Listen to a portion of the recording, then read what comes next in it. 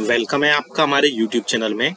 आज मैं आपको आठवें वेतन आयोग पर बहुत सारी और बहुत ही इंपॉर्टेंट अपडेट्स दूँगा।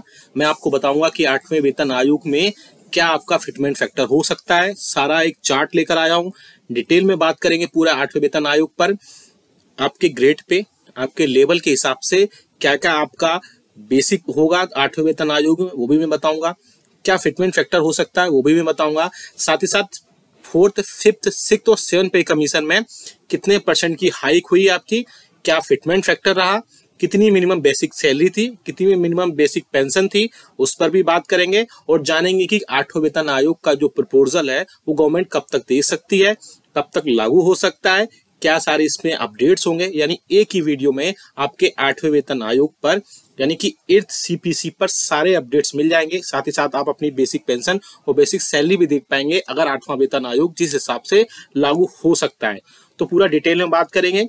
इसलिए इस वीडियो को पूरा लास्ट तक देखिएगा। और अगर चैनल पर पहली बार आए तो चैनल को फ्री में सब्सक्राइब ज़रूर करिएगा। सब्सक्राइब के ब्लैक बटन को प्रेस करके, साथ ही साथ आप हमारे वीडियोस की लेटेस्ट अपडेट्स के लिए लेटेस्ट इन्फॉर्मेशन के लिए बेल आइकन को, यानी घंटे के निशान को प्रेस करना बिल्कुल मत भूलेगा। तभी आपके पास हमारी वीडियोस की लेटेस्ट अपडेट्स आ पाएगी और आप हमारे वीडियोस को इसी तरीके से आगे भी वॉच कर पाएँगे। सबसे पहले जानते हैं कि किन पे कमीशन में कितनी बढ़ोतरी हुई। थोड़ा एक रफली आइडिया लगेगा इससे कि एट पे कमीशन में कितनी बढ़ोतरी हो सकती है। सामने आप चार्ट देख पा रहे हैं, जिसमें एट पे कम जिसमें पे कमीशन लिखा गया है, दूसरे नंबर पे आप देख सकते हैं कितने परसेंट हाइक हुआ, वो देख सकते हैं क्या फिटमेंट फैक्टर रहा, वो यहाँ पर है। साथ ही साथ कितनी मिनिमम बेसिक सैलरी थी और उसके हिसाब से यहाँ पर किस हिसाब से बढ़ोतरी हुई। तो सबसे पहले हम बात करते हैं फोर्थ पे कमीशन की। थर्ड पे कमीशन से फोर्थ पे कमीशन में जब हम हम आए तो वहाँ पर 27.6 परसेंट की टोटल बढ़ोतरी हुई बेसिक में। फिटमेंट फैक्टर वहाँ पर नहीं था और मिनिमम बेसिक सैलरी उसके बाद हुई साढ़े सात सौ रुपए। अब आगे चलते हैं फिफ्थ पे कमीशन में। जब फिफ्थ पे कमीशन आया तो 31 परसेंट की यहाँ पर बेसिक सैलरी में बढ़ोतरी हुई। फिटमेंट फैक्टर यहाँ भी नहीं था और बेसिक सैलरी साढ़े सात सौ रुपए से बढ़ करके पच्चीस सौ पचास रुपए यहाँ पर हुई। अब बात करते हैं सिक्स पे कमीशन की। इसमें बढ़ोतरी हुई 54 परसेंट की। और यहाँ से अब फिटमेंट फैक्टर इंट्रोड्यूस हुआ, यानी कि बाईस रुपए में 1.876 का मल्टीप्लाई करने के बाद रफली सात हज़ार रुपए यहाँ पर आए। यानी फिटमेंट फैक्टर वो फिटमेंट फैक्टर ऐसा क्रूशियल रोल प्ले करता है जब आपकी बेसिक सैलरी जो भी होगी और एक फिटमेंट फैक्टर निकल कर आएगा, उसके बाद ही यहाँ पर आपकी टोटल बेसिक सैलरी या बेसिक पेंशन काउंट होगी। सपोज़ करिए नेक्स्ट की बात करते हैं हम। यानी कि सेवंथ पे कमीशन में, सेवंथ पे कमीशन में 14.29 परसेंट की बढ़ोतरी हुई और फिटमेंट फैक्टर अभी आपका जो प्रेजेंट में है, वो 2.57 है। और बेसिक सैलरी की बात करें तो आपकी बेसिक सैलरी अठारह हज़ार रुपए और आपकी बेसिक जो पेंशन है, वो नौ हज़ार रुपए और वो आती कैसे है? आपका जो भी प्रीवियस में सेवन थाउज़ेंड आपकी पे कमीशन में था और उसमें टू पॉइंट फाइव सेवन का मल्टीप्लाई जब किया गया तो आप देख सकते हैं कि रफली एग्जैक्ट अठारह हज़ार नहीं आते हैं रफली अठारह हज़ार रुपए आए, सत्रह पाँच सौ आए तो उसको अठारह हज़ार रुपए बेसिक रुपए बेसिक बनाएगा। अब बात करते कि आठवें वेतन आयोग में कितने परसेंट का हाइक होगा? क्या फिटमेंट फैक्टर हो सकता है? और कितनी मिनिमम बेसिक सैलरी या मिनिमम बेसिक पेंशन हो सकती है? अब हम उसकी बात करेंगे। आपने देखा यहाँ पर फोर्थ से फिफ्थ के कमीशन में आप देख सकते हैं थर्टी वन परसेंट का हाइक हुआ। सिक्स पे कमीशन में फिफ्टी फोर परसेंट का हाइक हुआ सेवन पे कमीशन में fourteen point two nine percent का हाइक हुआ। वहीं बात करते हैं अगर सिक्स पे कमीशन की उसमें fitment factor eight one point eight six रहा।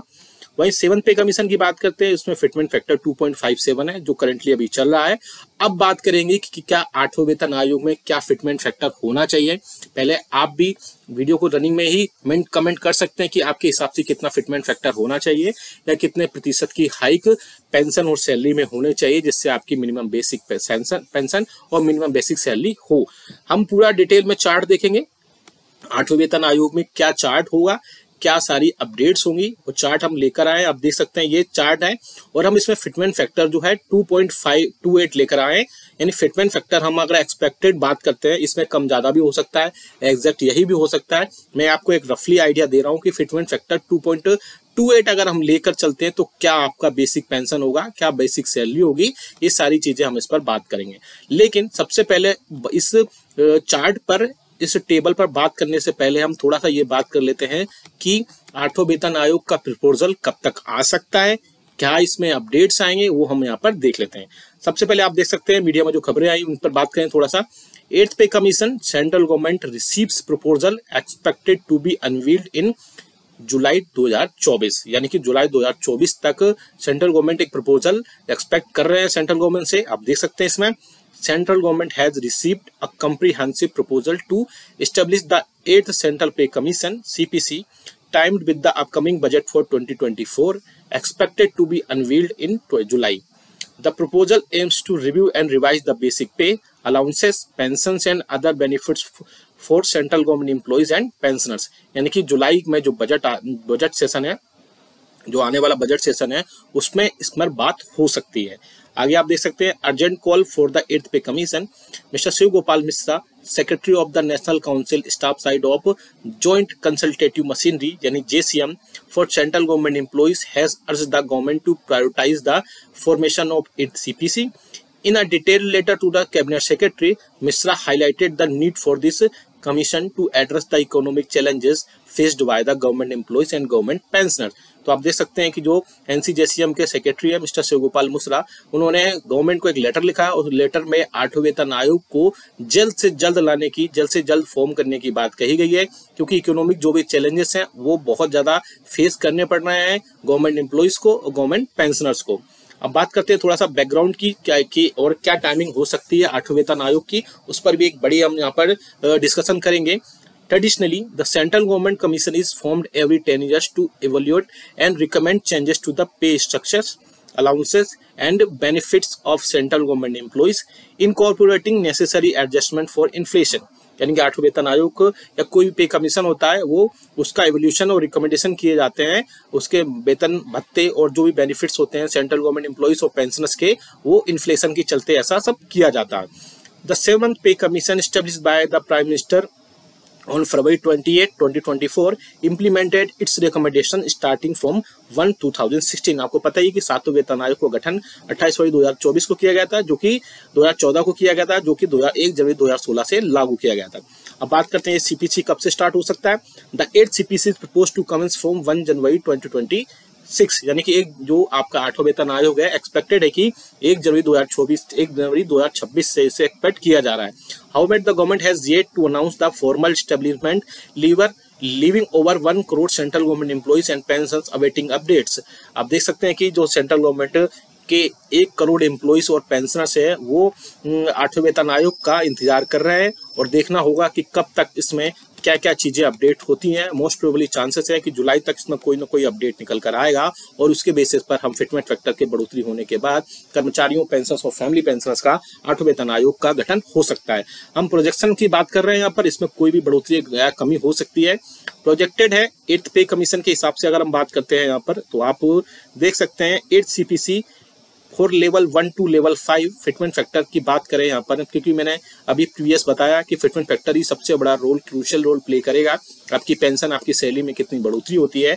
तो आप देख सकते हैं हमने level one level two level three level four level five की यहाँ पर टेबल लेकर आए जिसमें सिक्स पे कमीशन आठवें पे कमीशन में कितनी बेसिक आपकी होने जा रही है, वो अब इस टेबल में बताने जा रहे हैं। तो आप सबसे पहले बात करते हैं लेवल वन की। अगर आपका बेसिक इस टाइम पे अठारह हज़ार रुपए है तो आपका एट पे कमीशन में फिटमेंट फैक्टर 2.28 के बेसिस पर इकतालीस हज़ार रुपए हो सकता है। वही बात करें, इसमें आपका लेवल वन में अगर आपकी बेसिक अठारह हज़ार पाँच सौ रुपए है तो बयालीस हज़ार रुपए आपका बेसिक हो सकता है। वहीं हम बात करें लेवल थ्री लेवल वन में आपका अगर बेसिक उन्नीस हज़ार सौ रुपए है तो तैतालीस हज़ार चार सौ रुपए यहाँ पर हो सकता है। ऐसे इसमें बढ़ोतरी होती है, उन्नीस हज़ार सात सौ है तो चवालीस सात सौ हो जाएगा। बीस तीन सौ है तो छियालीस सौ हो जाएगा। बीस नौ सौ है तो सैंतालीस चार सौ हो जाएगा। इक्कीस पाँच सौ है तो अड़तालीस हज़ार आठ सौ हो जाएगा, बाईस सौ है, पचास दो सौ हो जाएगा, बाईस और आठ सौ है तो इक्यावन आठ सौ हो जाएगा। ऐसे ही करके इसमें बढ़ोतरी होती जाएगी। आप ये टेबल का स्क्रीनशॉट भी ले सकते हैं या फिर आप कमेंट बॉक्स में यस लिखेंगे, वहाँ से आप ये टेबल सीधा सीधा डाउनलोड कर पाएँगे। आप देख सकते हैं आपकी जो भी बेसिक होगी, उसके हिसाब से आप यहाँ पर टेबल देख लीजिएगा और आप अपना जो भी आपका बेसिक है, वो यहाँ से डाउनलोड कर पाएँगे। काफ़ी बड़ी टेबल है, आप इसमें फोर्टी कॉलम्स बनाए गए हैं। अब बात करते हैं लेवल टू की। अगर लेवल टू में आप अगर आते हैं, और आपका अगर बेसिक जो है, वो उन्नीस हज़ार नौ सौ है तो एट पे कमीशन में आपका फिटमेंट फैक्टर 2.28 के बेसिस पर आपका जो सैलरी बेसिक होगा, वो पैंतालीस हज़ार चार सौ रुपए होगा। वहीं अगर हम बात करें आपका लेवल टू में बीस हज़ार पाँच सौ अगर आपका बेसिक है तो एट पे कमीशन में छियालीस हज़ार सात सौ हो सकता है। वहीं बात करें हम इक्कीस हज़ार सौ रुपये अगर आपका बेसिक है तो अड़तालीस हज़ार सौ रुपये हो जाएगा। और अगर इक्कीस हज़ार सात सौ रुपये आपका अगर बेसिक है तो उनचास हज़ार पाँच सौ रुपये आपके बेसिक होने की पॉसिबिलिटीज हैं। वहीं आप अगर टेबल को इसको देखें तो सारे बढ़ते हुए क्रम में आपकी एर्थ पे कमीशन में कितना टेबल होगा, कितना आपका फिटमेंट फैक्टर के बेसिस पर होगा, वो आपका हो सकता है। वहीं हम लेवल थ्री की बात करें, अगर आपका लेवल थ्री में जो ग्रेड पे है, वो दो हज़ार रुपये है। आप देख सकते हैं लेवल थ्री में बेसिक अगर आपका इक्कीस हज़ार सात सौ रुपये है तो आप उनचास हज़ार पाँच सौ रुपये यहाँ पर आपका बेसिक हो सकता है। यही बात करें, अगर हम आपका बेसिक बाईस हज़ार चार सौ रुपये तो इक्यावन हज़ार सौ रुपये तक इसमें पॉसिबिलिटीज जताई जा रही है। वहीं बात करें, अगर हम फिर से तेईस हज़ार सौ रुपये इसका बेसिक है तो बावन हज़ार सात सौ रुपये बेसिक हो सकता है। लेवल थ्री में फिर से अगर हम आपका बेसिक बात करें, तेईस आठ सौ तो चौवन तीन सौ यहाँ पर हो सकता है। फिर से अगर हम बात करें, चौबीस पाँच सौ तो पचपन नौ सौ आपका यहाँ पर बेसिक दिखाई दे रहा है। बात करें फिर से लेवल फोर, जो कि ग्रेड पे होता है ट्वेंटी फोर हंड्रेड इसमें अगर हम बात करें तो सेवन सीपीसी में बेसिक स्टार्ट होता है पच्चीस पाँच सौ से तो आठवें वेतन आयोग में 2800 ग्रेड पे होने के बाद 2800 फिटमेंट फैक्टर 2.28 होने के बाद आपका बेसिक अट्ठावन हज़ार सौ रुपये हो सकता है। वहीं छब्बीस तीन सौ की बात करें, अगर आपका बेसिक छब्बीस तीन सौ होता है तो साठ हज़ार रुपये आपका बेसिक हो सकता है। अगर हम बेसिक की बात करें, सत्ताईस हज़ार सौ अगर आपका बेसिक होता है तो आपका फिटमेंट फैक्टर 2.8 2.28 के बेसिस के बाद इकसठ हज़ार आठ सौ रुपये यहाँ पर बढ़ोतरी हो सकती है। वहीं अगर फोर्थ की बात करें, अगर आपका बेसिक सत्ताईस हज़ार नौ सौ रुपये है तो इसमें तिरसठ हज़ार छः सौ रुपये और अगर आपका बेसिक अट्ठाईस हज़ार सात सौ रुपये है तो पैंसठ हज़ार चार सौ रुपये आपकी बेसिक होने की पूरी पूरी पूरी पॉसिबिलिटीज बताई जा रही है। अगर हम लेवल फाइव की बात करें, जिसका ग्रेड पे अट्ठाईस होता है, अगर सी सेवन सी में स्टार्टिंग लेवल फाइव में सेवन सी पी है, उनतीस दो सौ होने के बाद छियासठ हज़ार छः सौ रुपये यहाँ पर हो सकता है। वहीं अगर तीस सौ है आपका बेसिक तो अड़सठ हज़ार छः सौ रुपये हो सकता है और इकतीस हज़ार सौ रुपये है तो सत्तर हज़ार सत सात सौ रुपये हो सकते हैं। इकतीस हज़ार नौ सौ रुपये अगर आपके बेसिक है तो बहत्तर हज़ार सात सौ रुपये हो सकता है। बत्तीस हज़ार नौ सौ बेसिक है तो आपका पचहत्तर हज़ार टोटल बेसिक हो सकता है। और वहीं बात करें, तैंतीस नौ सौ अगर आपका बेसिक है तो सतहत्तर तीन सौ रुपये आपका बेसिक होने की यहाँ पर आठवें वेतन आयोग में पॉसिबिलिटीज जताई जा रही है। ये बहुत अच्छी टेबल है। फिटमेंट फैक्टर ये 2.28 के बेसिस पर है और अगर फिटमेंट फैक्टर बदलता है तो आपकी बेसिक पे भी बदल सकती है। लेकिन एक्सपेक्टेड है कि अगर टू तक या 2.57 तक भी अगर इसमें बढ़ोतरी होती है तो पेंशन काफ़ी बढ़ोतरी हो जाएगी। इसमें काफ़ी ज़्यादा बढ़ोतरी होने की बात कही जा रही है। लेकिन आठवें वेतन आयोग में देखना होगा कि क्या फिटमेंट फैक्टर रहता है। आप भी हमें कमेंट करके बताएगा कि आपके हिसाब से कितना प्रतिशत फिटमेंट फैक्टर हो सकता है और क्या फिटमेंट फैक्टर पर आपको कितनी बेसिक पेंशन और बेसिक सैलरी आपको चाहिए, आप हमें कमेंट करके ज़रूर बताएगा। और आप अगर इसको डाउनलोड करना चाहते हैं इस टेबल को तो कमेंट बॉक्स में जस्ट लिख देगा वहाँ से सीधा सीधा आप इसको डाउनलोड कर पाएँगे। और